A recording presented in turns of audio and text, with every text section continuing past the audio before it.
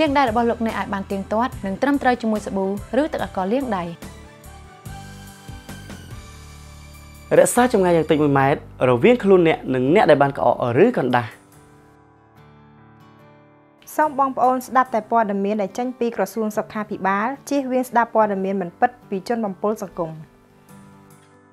ខ្ទប់មាត់និងច្រមុះដោយប្រើកាញ់ដៃរបស់លោកអ្នកប្រើក្រដាសឬកន្សែងនៅពេលក្អកឬកណ្ដាស់បន្ទាប់មកបោះចោលចូលក្នុងធុងសំរាមភ្លាមភ្លាម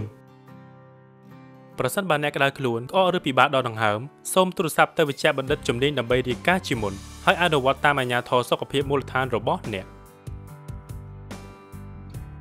នៅក្នុងស្ថានភាពបែបនេះយើងខ្ញុំសូមថ្លែងអំណរគុណយ៉ាងជ្រាលជ្រៅដល់ក្រសួងសុខាភិបាលដែលបានចាត់វិធានការក្នុងការទប់ស្កាត់និងការពារជំងឺ Covid-19